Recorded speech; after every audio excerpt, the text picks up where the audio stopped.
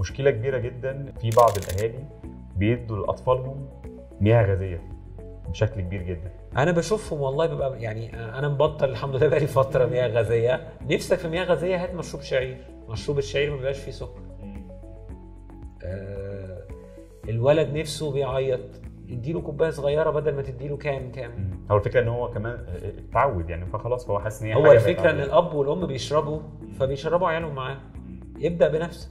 يعني قبل ما تنصح طفلك بحاجة ابدأ بنفسك.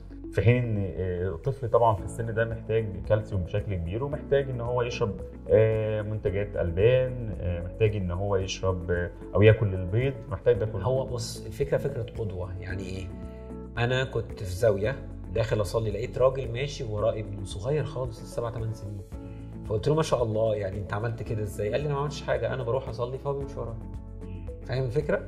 أنا بتغذى كويس هيتغذى كويس. أنا مش بمسك الموبايل كتير مش هيمسك الموبايل كتير أنا بقعد ألعب معاه.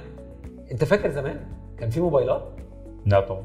كن بيلعب معاك باباك ومامتك الله يرحمه.